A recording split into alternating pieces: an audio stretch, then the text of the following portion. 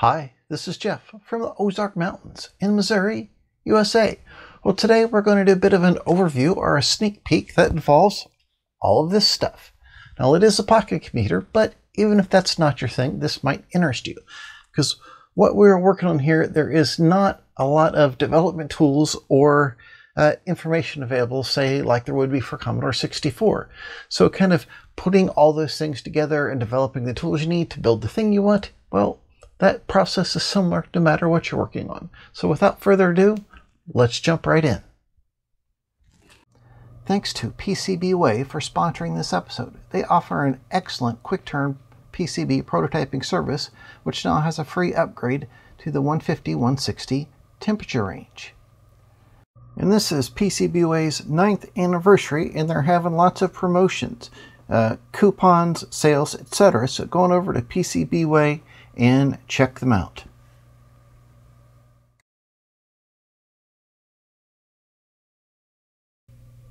What we have here is a Sharp PC1500 with the CE158 uh, RS232 and parallel port interface. Well, actually, this is the Radio Shack version of the CE158. It does not have the parallel port interface board, which is this guy. Otherwise, they're exactly the same, same ROM and everything. And of course, uh, the computer here could be a TerraCity branded PC2, PC1500A or 1501 if you're in Japan. Basically, the same thing. A few years ago, I got to wondering if an SD card interface would be possible, and I made a breakout board which contained an EEPROM and some address decoding logic, and got it to run a program from the EEPROM. Here we are running the one column at a time screen invert off of an external EEPROM. Check it out. Using this little breakout board. Yeah, it's out of focus. I've been using LH Tools Assembler at this point, which is a great package, and it uses a Z80-like mnemonic set for the LH5801, which is the processor that is inside this computer. Uh, being more familiar with TASM, the Telemark assembler, which is a table-driven assembler, you can uh, create a new table to assemble almost anything. Um, I created a table for the LH5801 and added a custom assembly method to handle the unique branching of the LH5801. And I used the official Sharp mnemonic set.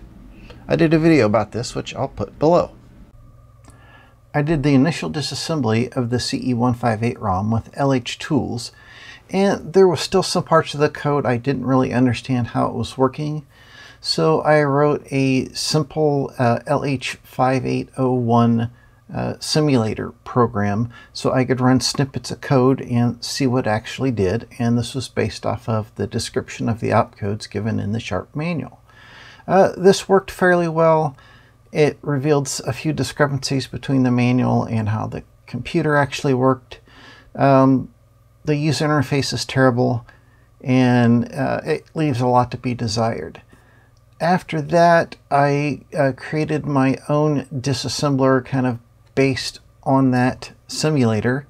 Uh, very similar UI, it's equally as bad, but it let me use um, like a standard library file that an assembler might use. So you can have all the things in there you'd be using for assembling it as you're disassembling it and it makes the code that you get out a lot nicer. For the library files, I combined information from several different sources into one Excel spreadsheet. I added in some macros that will spit out a separate library file for the PC1500, for the CE158, for the CE150, and it also outputs a memory map proper. This makes it really easy to update and maintain all of this once we find out new information.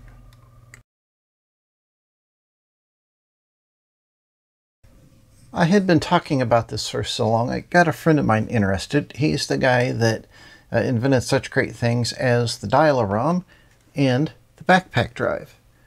And one of the first things he wanted to try to do was get the backpack drive to work uh, in the serial interface here. And, you know, some of the challenges with that are the, the computer needs to tell the backpack drive the file name and whether it's a load or save operation. So my friend came up with a way to do that uh, by doing a printf from the, the computer first, and the drive interprets that as the command, you know, like a DOS command with a load or save in the file name.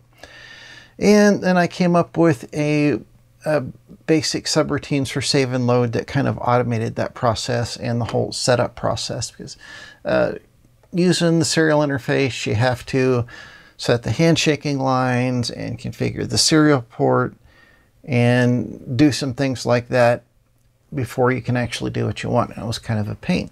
And this kind of basic mini DOS thing kind of worked, but it was pretty cumbersome.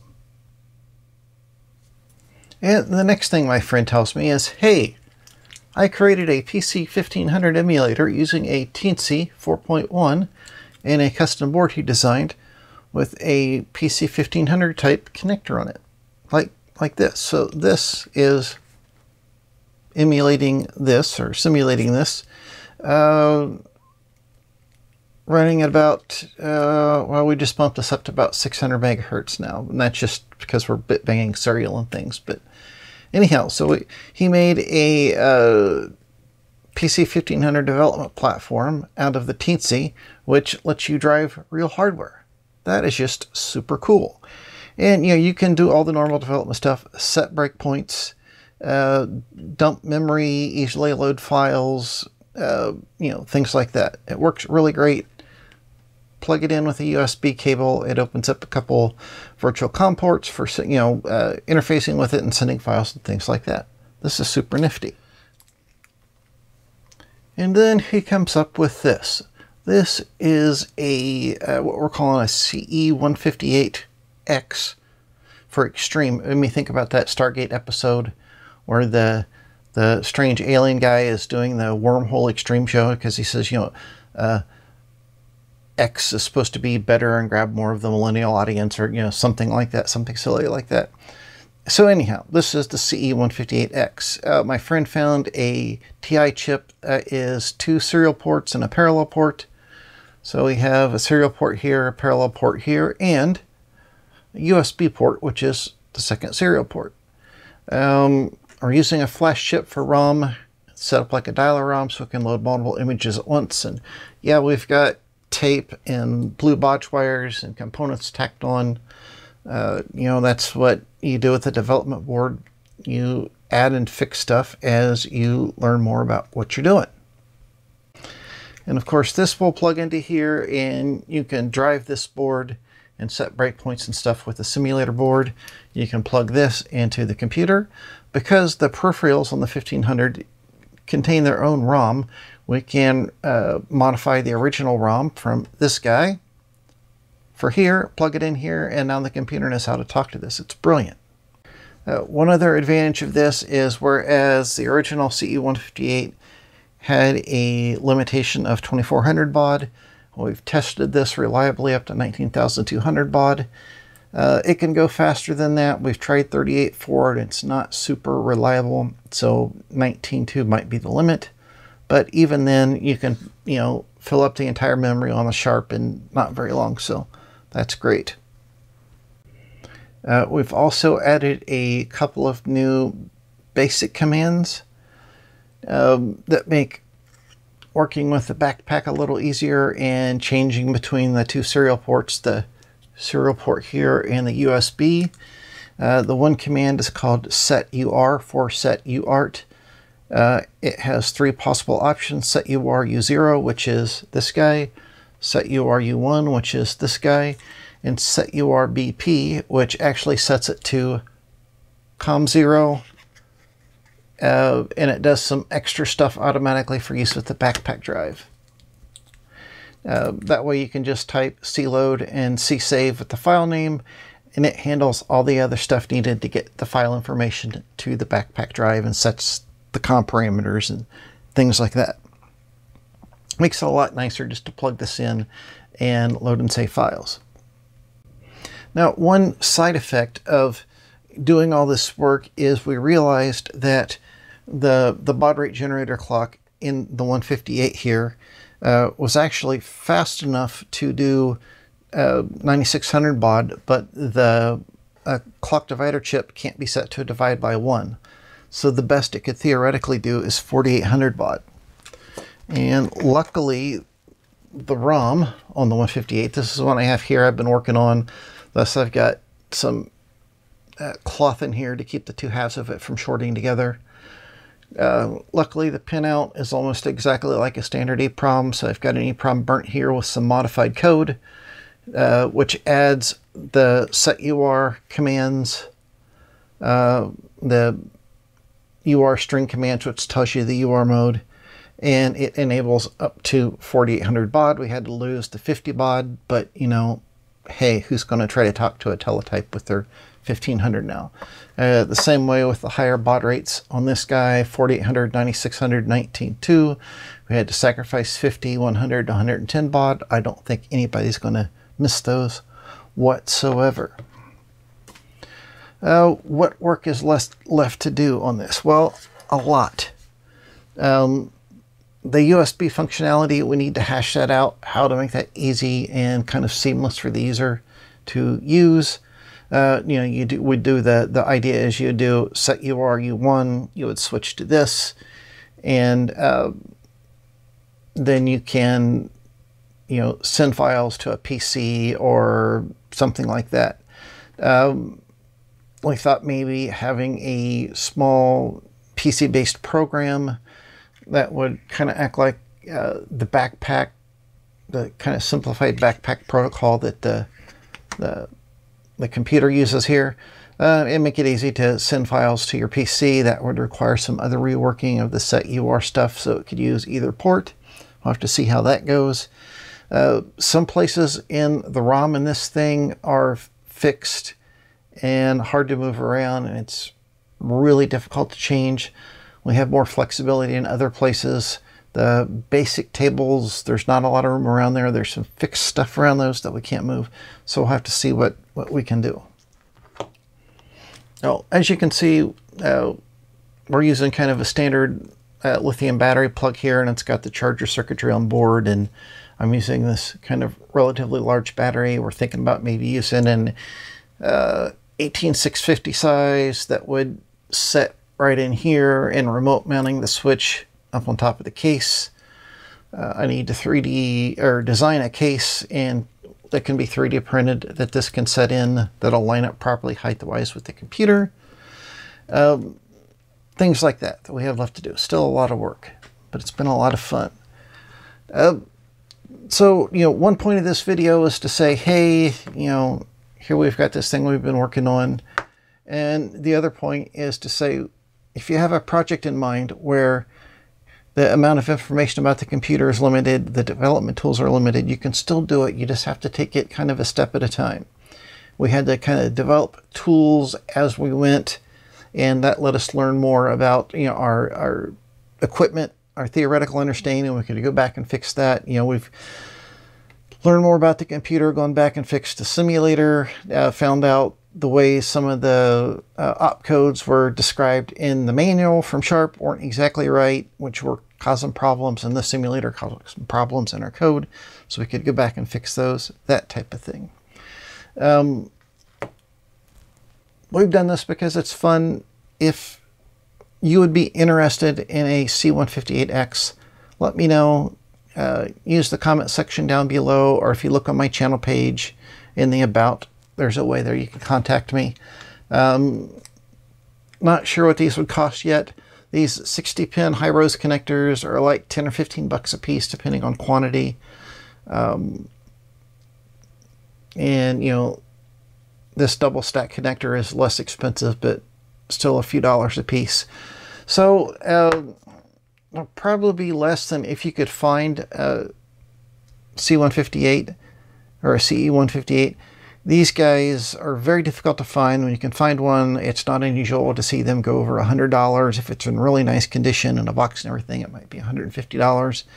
And I haven't seen one available for months now. I've been looking in Japan and the United States. They're just not available.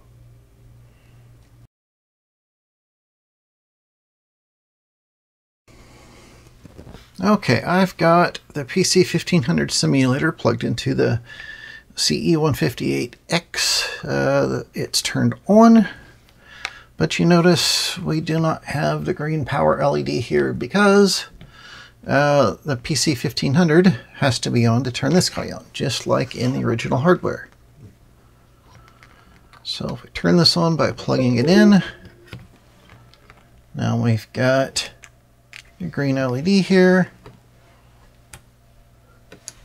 Power cycle the backpack there. And you'll notice on our uh, serial terminal here, it tells us that we've connected. I've got several options here. I can uh, simulate everything, the 158 and the backpack and the PC1500 all on the Teensy. I can uh, use the ROM on the 158 or a ROM image on the Teensy to talk to the real backpack, etc. I'm going to run a macro here which starts it up using all the, the real hardware, the simulator, the 158X, and the real backpack.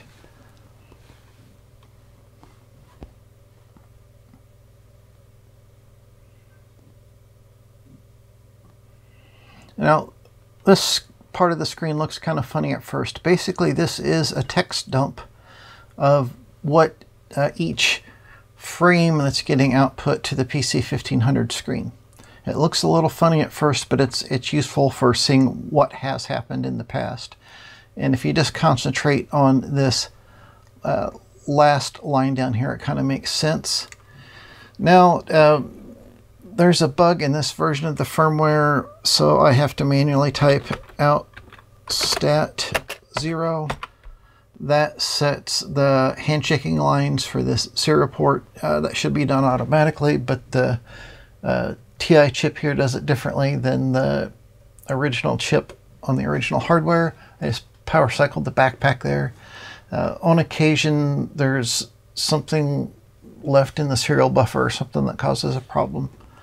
So just try to make this start up without hitch. And now we can use the set UR to put it in backpack mode.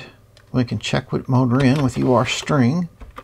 These are commands that were added to the 158 ROM. And now if we do cload done, this is a 8K uh, pr basic program that's like a dungeon exploring Dungeons and Dragons or Zork, that type of thing.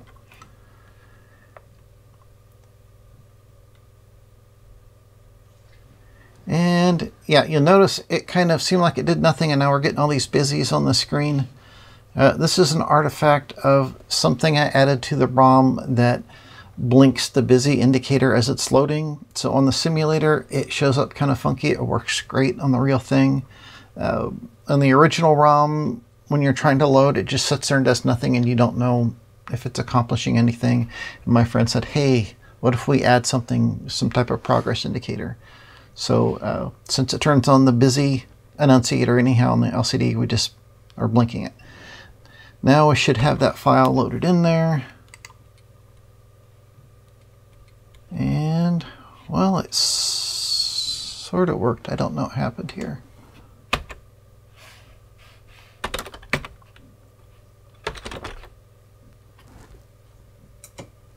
Yeah, this sometimes happens on first startup. I don't know if it, I didn't actually load the program, so we'll try that again. This is something with a combination of the current simulator firmware and the hardware here. Uh, load. Done.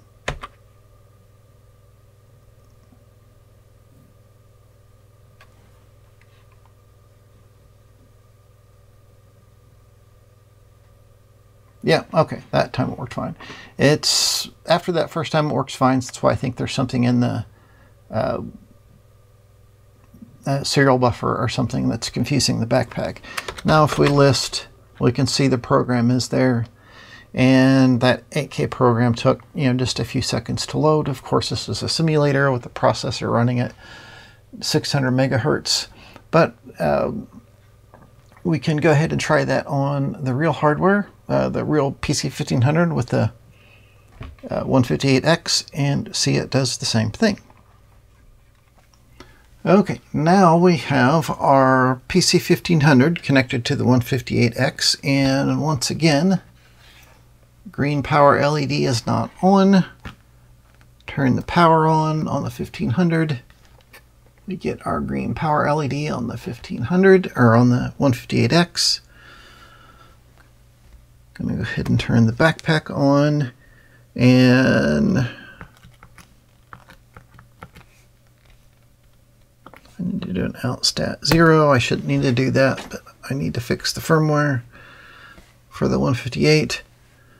And then we should be able to do a set UR to backpack mode. We can check that if we want with backpack string or UR string. It used to be called BP string. And we got to think about the two different UART settings. So we changed it to set UR and UR string, which kind of goes along with the other settings for the machine for the 158. Okay, so we're in backpack mode. Now we should be able to go C load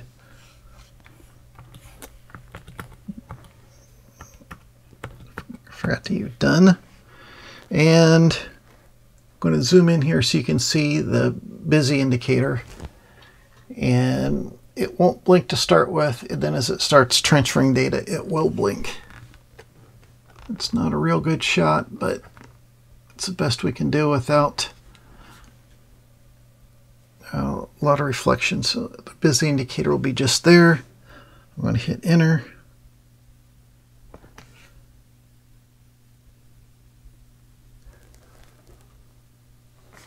And there we go. See, it's blinking. It's loading data. Uh, the reason it doesn't blink to start with is because first the 1500 is sending the file name and telling the backpack it's a load operation. And then there is about a five second wait for everything to get kind of realigned and then the loading takes place. So we just loaded uh, 8K from the backpack to the PC 1500 at 19,200 baud. And if I zoom out here just a little bit like that, I can go list. That is a really terrible look there, isn't it? That's a little better, but maybe not much. So we've got our file in there, and we can put it in run mode and run it. Dungeon Quest.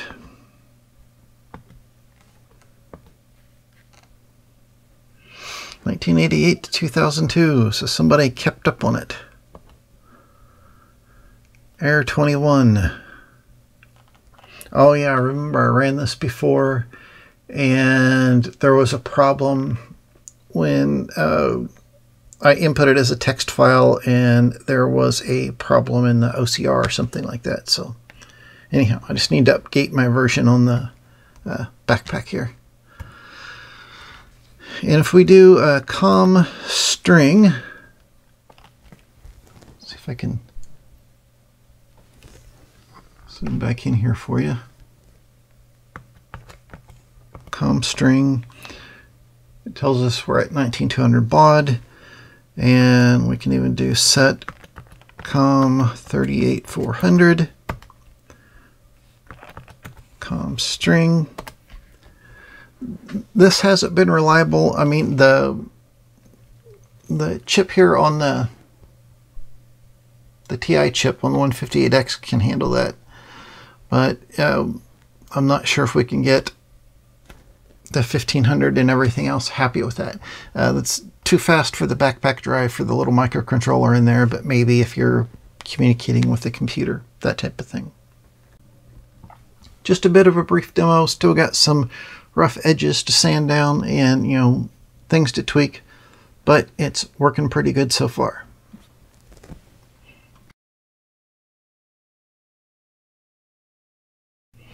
So this was an overview of this project. It's been a lot of fun. It's been a lot of work. It's kind of interesting working on something where uh, there's not a lot known about a particular piece of equipment. There's a, uh, a fair amount of stuff about the PC 1500 itself and really nothing on the CE158. So dumping that ROM and disassembling it and getting it into a place where you could actually modify it and build it and get a usable ROM out of it again that was a challenge. Uh, my buddy doing the simulator and the 158X board, that was just amazing. He's such a whiz. And, you know, we've got this now in a kind of semi-usable state. It makes for a good development platform and being able to, you know, set breakpoints and stuff like that using the simulator is very handy, even though it's not perfect. It's not a clock cycle accurate version of the 1500, but that's okay. That's not what it was intended to be. It's a development tool.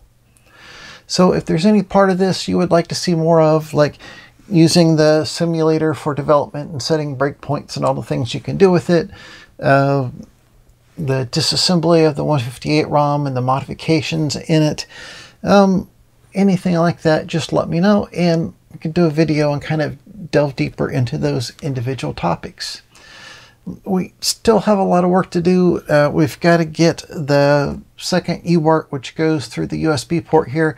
We've got to get that functionality ironed out and make it kind of a, a seamless thing for the end user so they can use a set UR U1 command and then everything just goes through that and they don't need to think about it other than that. Um, there was still a glitch with the simulator you saw there. That's not a big deal. It works fine on the real hardware.